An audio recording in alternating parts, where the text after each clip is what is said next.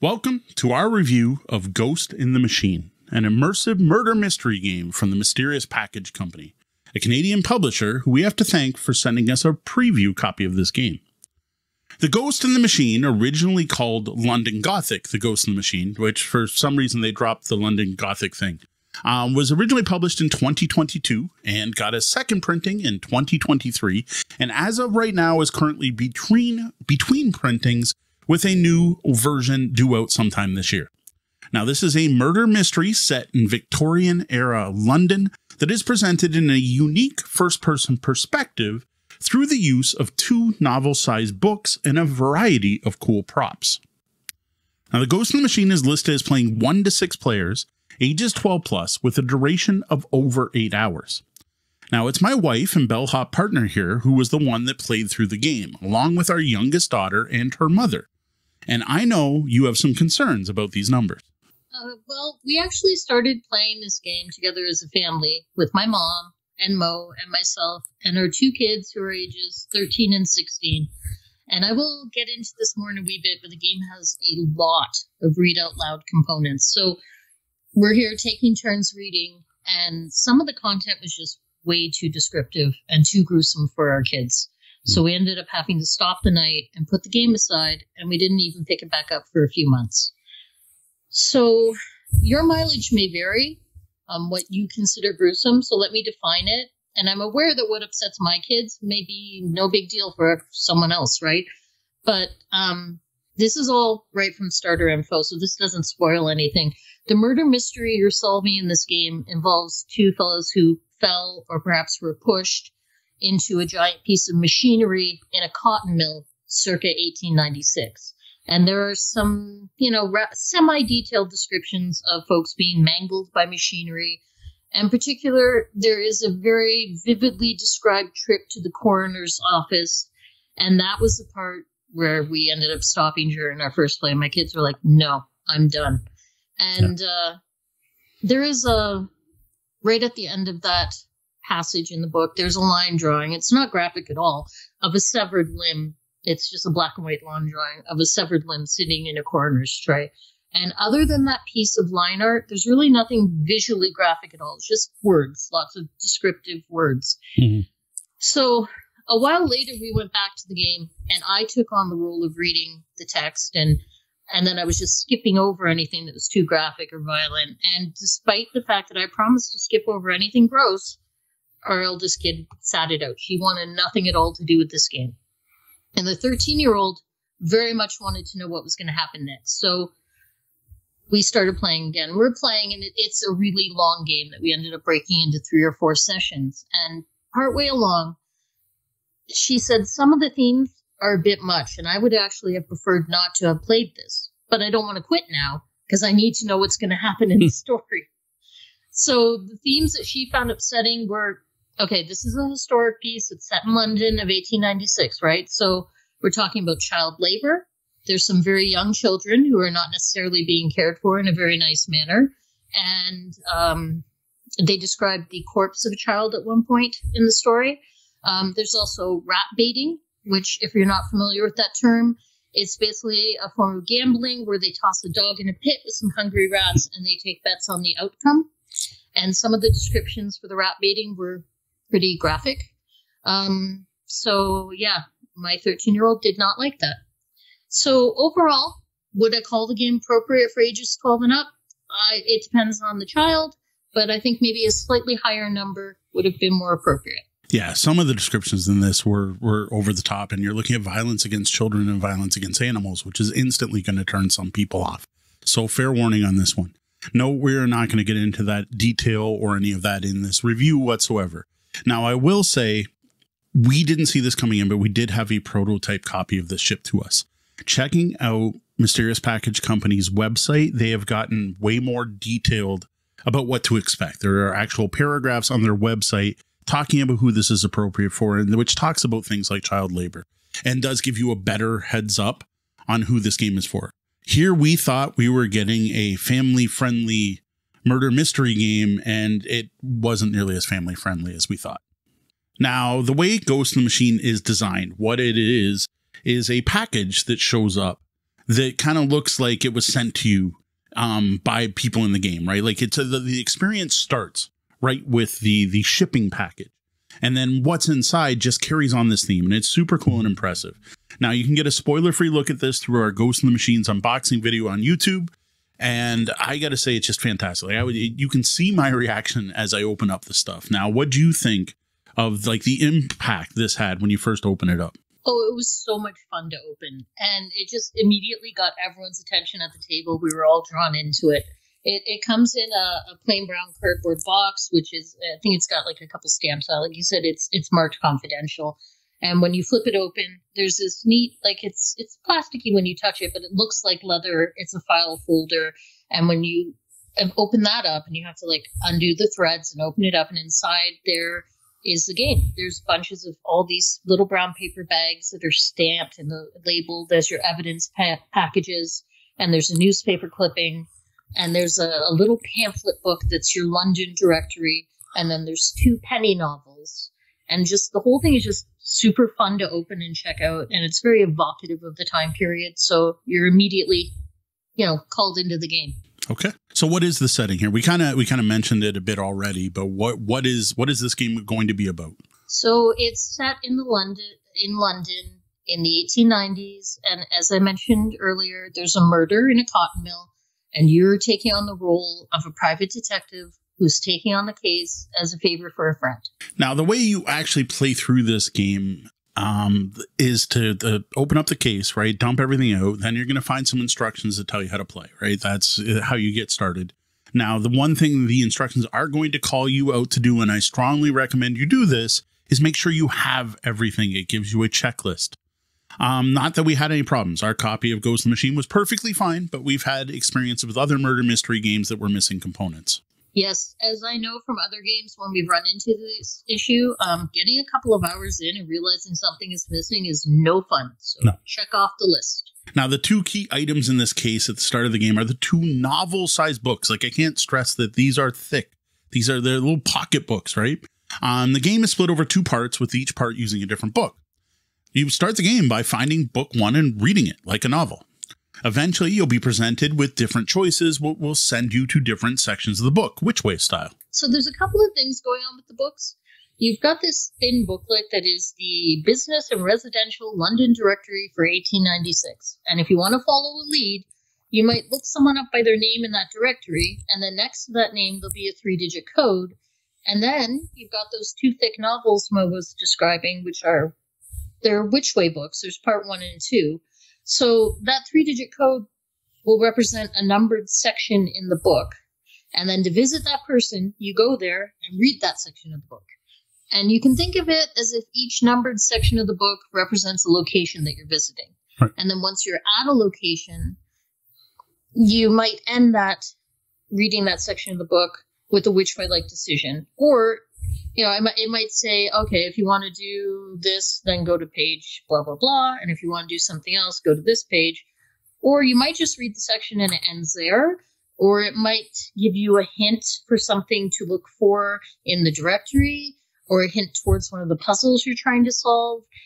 And then you're back to thinking of leads to look up and places and people to visit. So you're not just following which way branching paths through the book. There's a lot of intuitive puzzle solving and and sleuthing going on to figure out which parts of the books to read. Yeah, because you're basically exploring the game through the book. And at the beginning, you've got the directory and well, the book itself telling you go here or go here. It does start off very linear. The very beginning of the game I played through was just started like a which way book, but then it quickly opened up because you start to unlock other ways to use these books. Um, like there's the directory. On later, you're going to unlock a map of London or a warehouse set of warehouse blueprints. Well, to visit a spot on the map, you look up the entry in the book. All of this really leads to a, a fascinating and well done open world feel where you feel like you can explore things at the pace you want and in the order you want. Yeah, it ends up being really intuitive and it feels like you're really just exploring an open world and figuring out things on your own instead of being led down a linear pathway. Yeah, and in a brilliant bit of design, some of the passages may direct you to different places based on what you've done. So, for example, I clearly remember early in the game, you went to visit a specific woman and it said, Do you have your hat? And if you do, go to this section. Otherwise, keep reading. Yeah, the book will say something vague like, if a child sent you here, go to this other number. Otherwise, come on in, which will allow you to visit the same locations at different points in the storyline. And the vague statements will make sense when the time comes, but they won't spoil the story at all prematurely. Yep. Now, as you go, you're going to be instructed to open various sealed envelopes which will unlock more clues, more evidence, and one of the coolest bit, little tchotchkes, right? Like little artifacts, neat things you get to, to kind of hold on to. Now, I don't don't go thinking this is just a game about reading. Like you are going to have to take notes. You're going to have to pay attention to what's in those passages. You're going to have to use the various things in the envelopes and the various pieces of evidence to solve puzzles. And you're going to have to use deduction to figure out where to go next. And I gotta say, the game does some really clever things with numbers, making it so that it's just much more than just reading through a Which Way book. Yeah, it is so much more than just a Which Way story. There are puzzles and riddles to solve, and there's tons of sleuthing to be done.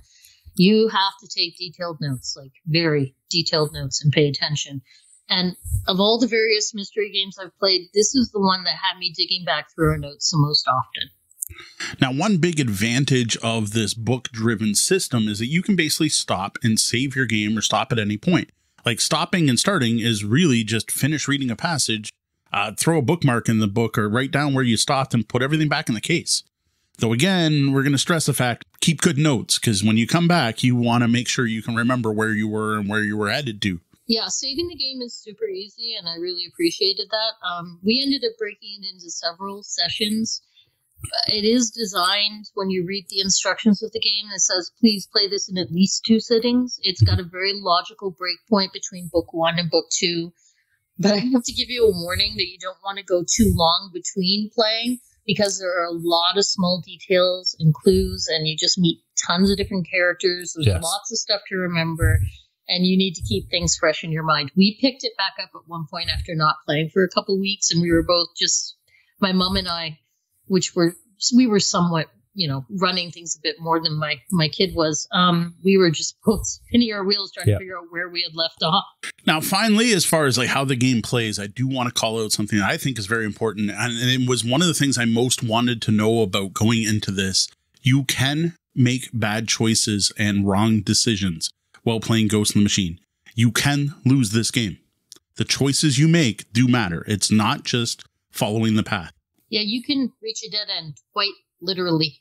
Uh, and the game instructs you to just back it up, rethink your choices, make a different choice, and keep going. Yeah, so it kind of comes with its own put your thumb on the last page, just in case things go wrong. Now, another thing that's featured here, like any good mystery game, is a full graduated hint system. But you won't find this in the box, which I found that a little disappointing, having seen the same company do something similar in other products. Um, the only way you can find this is online. It's part of the Mysterious Package Company website. Um, there's nothing in the product to help you out. Now, as someone outside the system, I was the one. I wasn't playing all the games. I didn't take part in every every session. I even missed the end of it. But as someone who was outside, I went through this hint system to kind of help um, help them out while they were playing, and it was really good at just giving you a little bit of information at a time. It does a really good job of not spoiling things until you want it to, and it even explains the final solutions when you get there. So it's like, this is how you should have got to this point. Now, from what I remember, the only time your group actually needed it was that time when you took an extended two or three weeks off and you needed to be reminded of something you already knew. It was someone you had talked to who presented a piece of evidence you couldn't remember who it was. So, thankfully, with me not being in- intimately involved with it, I was able to check that out on the clue system and just go, okay, the person's name was this. Yeah, I was certain we were going to remember things that ended up forgotten, and more more notes should have been made. Um, yes. if I remember correctly, there was something else we got stuck up on, but it was in the errata, and we did have a prototype copy yeah. of this. So that is something else you will find on the Mysterious Package Company webpage. There is an errata for this game that's up there, and they have pointed out that they are fixing all these problems as they find them in the later printings. So at this point, if you get the newest printing of the game, which should be coming this year, you shouldn't have to worry about this, but it is worth checking that errata. Overall, from my point of view, from the outside, as as someone who plays a lot of board games and and who's still fairly new to murder mystery style games and escape room games, I thought Ghost in the Machine was brilliantly designed. I loved the different ways the game had you putting numbers together to get you to different places, the way things progressed in the game, and that whole system for like, do you have your hat? Do you have your coat? Like, to, so it knew you were here later. And that's actually a big part that the second book did because you have some of the same numbers in there, but now that you're in the second half, it knows that time has progressed and what's changed in the world. It did a fantastic job of feeling realistic. It felt like time was passing. And I just thought it was really neatly done. The various ways they had you get to sections in the book. Yeah, it was really clever. And even just looking folk, folks up in the directory, it was not always as straightforward as that could sound because you have to figure out someone's full name you have to figure out the name of the location. Yeah, you know we went to a pub, but like which pub? What part of the city are we in? You know, all yep. all of this stuff. It was it ended up it was super fun. I remember there being similar names as well as multiple family names that were same, and you didn't know which one to go to, and if you went to the wrong one, that could lead to bad things. Yeah, I, I for the bits that I heard of the story, it sounded fantastic. It was engaging. Um, the language used might take a bit to get used to. Um, it definitely is going for an 18 what 1830s, whatever it is, late 1800s vibe. Um, the overall description of everything. Um, the writer of this is very descriptive. Um, to me, it felt like the Lord of the Rings of the mystery novels with the, the amount of different ways dust particles were described. Um, the griminess of everything and the on the nose political issues of the time. Um, I, again, I don't want to spoil anything, but some of the things that were happening in the game were very appropriate for the time period, very immersive, and honestly, I would go so far as to say educational. Yeah, overall, the writing was top notch. It's part of what set this game apart from all the other various mystery games we've played for me. Is just phenomenal writing, believable motivations, solid and consistent characterizations, and tons of vivid characters yes. described in the game and yeah, playing the game led to some interesting conversations with our one kid about the history of the child labor laws, which actually ended up being like some really interesting, teachable conversations that I really enjoyed. So, as for things to watch out for, um, the biggest one, of course, is the one we already called out, which is the tone of the game, the the graphic descriptions, the horrific things that happen in the games, uh, the way some of the characters are treated. Uh, this game does not pull punches. The the story is is not nice. This is not the not a a, a feel good story. We'll put it that way. Another thing to watch for, uh, we already called this out, is watch for errors. Um, our copy of the game did have a few. Check the errata. Go online. Make sure you know what needs to be fixed. Um, we had an entire paragraph that just cut off. If I remember correctly, that didn't lead to any like there was no misclue. If I remember, there was nothing wrong with our copy that would break anything. The game was playable, but there were some like cut off sentences that just didn't quite make sense. Um, I, I you played through it, not me. Is there, was there anything that literally was like game breaking? I don't think there was. No, they used the wrong, like they used an inconsistent first name for one character. Like they'd okay, obviously decided to change, but it was just in the newspaper they had one first name, and everywhere else in the story they had a different first name. Okay, and I think I said we had the prototype copy, so I'll cut them some slack there. I'm going to assume yep. that was fixed. Fair enough. Um, we've called this out already too, but time between sessions and forgetting things. Uh, take lots of notes. That's that's the best I can say. Is is take lots and lots of notes, even though you think you're going to remember it, you might not.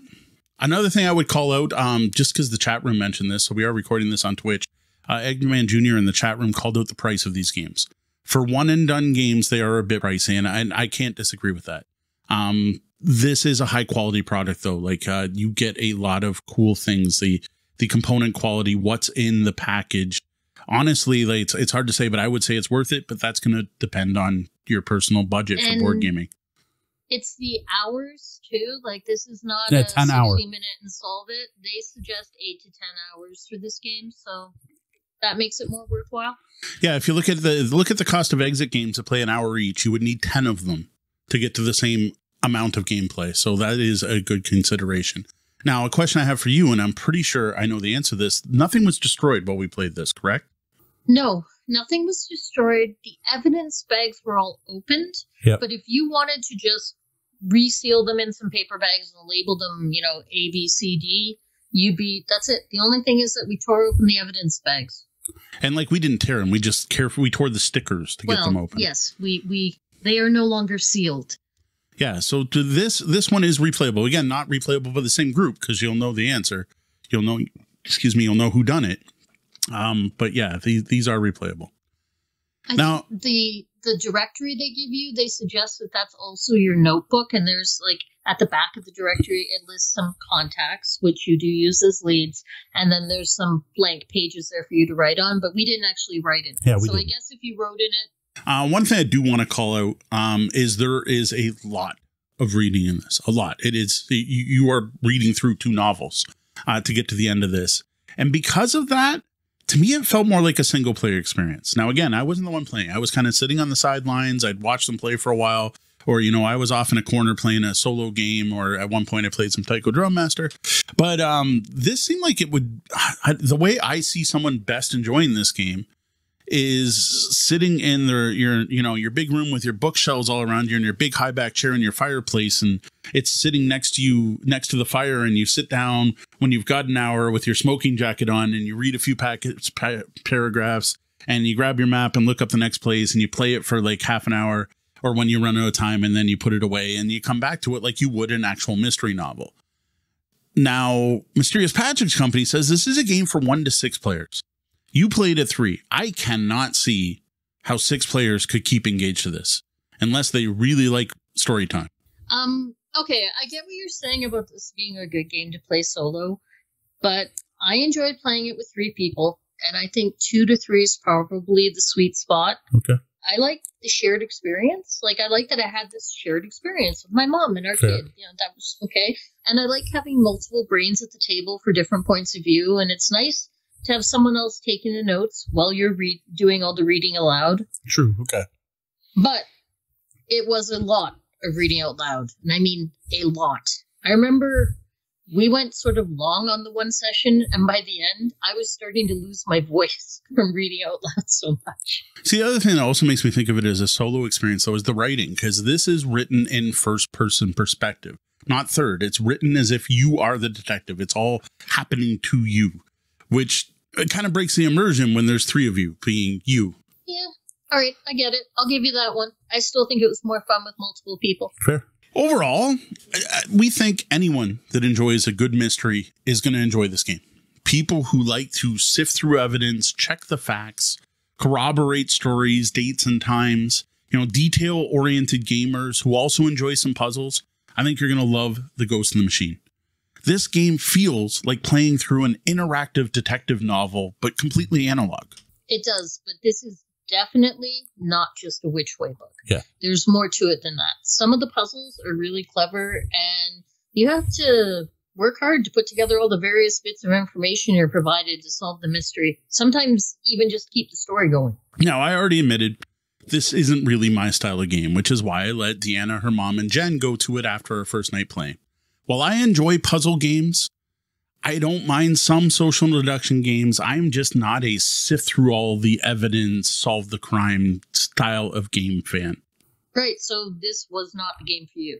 Yeah. If you want to solve puzzles or you want more of an escape room game, this is not the game. If you want a big multiplayer game that's going to be great for six or more people, no, not this one. If you don't like storyline and you just want to skip ahead to the next puzzle, you are playing the wrong game. if you are squeamish about mildly descriptive gore, then you probably want to skip this one.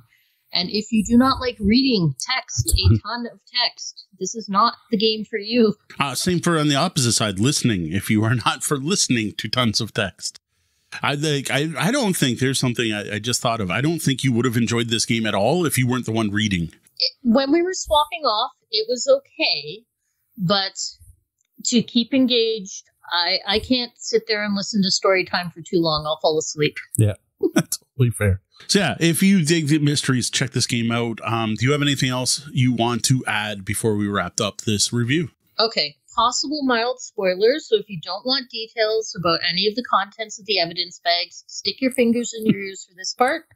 Uh, I don't think it's a huge spoiler to say that at some point in the game you will need a key to unlock a door, and they give you a physical metal key, and it was totally unnecessary, just a prop, a nice detail that added to the excitement, and it gave my kids something neat to keep after the game was done. She ended up turning it into a necklace, so I thought that was kind of cool. That's it.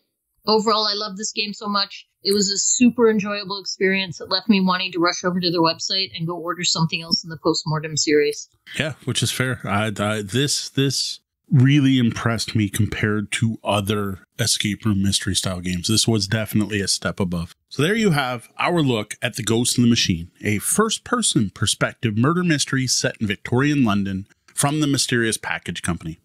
A game my mystery loving wife thinks is the best there is on the market right now. What's a game in this genre you've tried and have greatly enjoyed? We'd love to hear about it in the comments. Through an email to mo at tabletopbellhop.com or through social media where I can be found everywhere as Tabletop Bellhop, one word. Don't worry, I'll pass your thoughts on to Deanna. Or you know what? You can actually talk to her directly through the Tabletop Bellhop Discord. While she may not be active on social media, I know she checks our Discord every day. You can find that at discord.tabletopbellhop.com.